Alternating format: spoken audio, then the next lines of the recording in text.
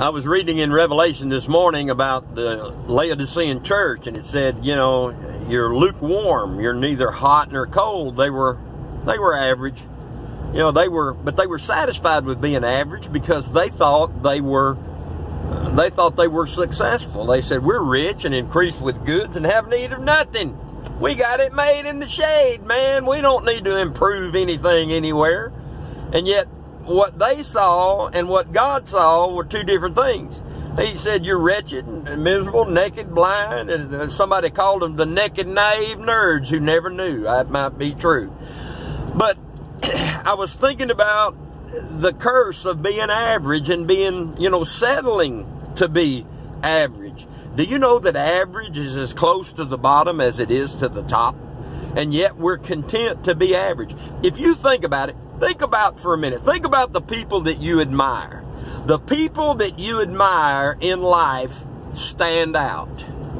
They're, they've achieved something. They've accomplished stuff. I think I'm going to drive through Highland Lakes here, just do a little social climbing, just driving through the neighborhood. Here we go, Highland, yep, Highland Lakes. Think about the people that you admire. They are, they have, they have given themselves to a cause. Basketball player, baseball player, uh, musician, whatever it is. Think about think about the people that you admire, and then think about this: the people that we admire stand out. They they've accomplished something. They have given their all. They have dedicated themselves to something, so they stand out. But you know what we do? We spend most of our lives trying to fit in. We don't want to stand out we don't want to be different. We don't want, you know, we don't want the spotlight on us. And, and I can understand that. I've been there. I mean, years ago, uh, you know, I, my personality is the kind, I know you ain't going to believe this, but my personality is if it was up to me, I would have just, I would have just faded on into anonymity. I could be happy just not, you know, just I go to church. When I get to church, I get there early so I can get a seat in the back. I'll go, I'll sit, and I'll, you know, slip out during the invitation and not cause any waves. Don't need anybody to see me or no. But I, I can't do that.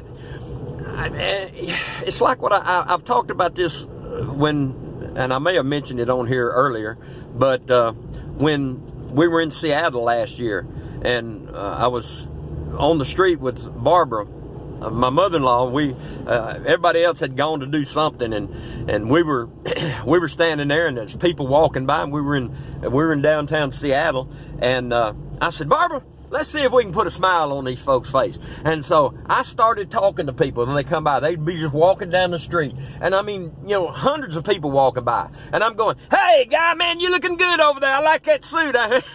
I, almost said, Hey, man, I used to have a, a shirt like that. Mm, yeah, then my daddy got a job. But no, I, I was being nice.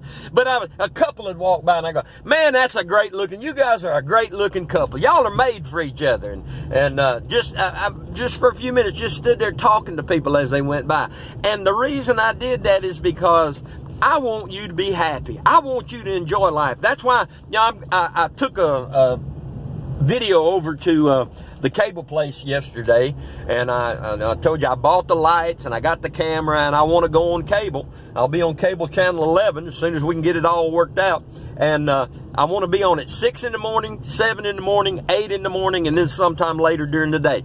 And what I want to do is I want to put a, a video on there, just a few minutes, I don't know how long it'll be, of motivation to say, hey, look, you can, you can have a great day. It's going to be a great day. Uh, approach the day with a positive attitude. It's going to be great. It's all going to work out. It's going to be good. And, and, and seize the day and enjoy the day. And I want to get that joy and I want to pass it on to other people. And I don't want to be average. I want to help people. I want to step out above average and tell you and, and, and help us all to realize, look, we can do something more than we're doing. We can do something better than what we're doing. We can accomplish more. We can do more if we'll just get the mindset that says I can do it. If you want to change the way you're living, if you want to change what you're, you know, like I said, if you want to change what you're reaping, change what you're sowing. And if you don't like your life, change your thinking. If you change your thinking, it'll change your life. And you can have a positive attitude about stuff. And it's not, you know, it's not a Pollyanna attitude where everything's just all going to work out, you know.